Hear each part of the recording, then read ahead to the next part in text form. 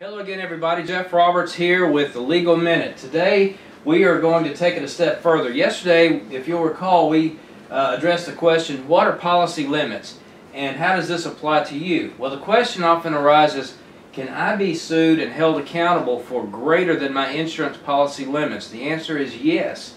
Let's say you're involved in an accident and the damages are $50,000. If you have only 25,000 in coverage, you are exposed for the balance or the 25,000 up to the 50.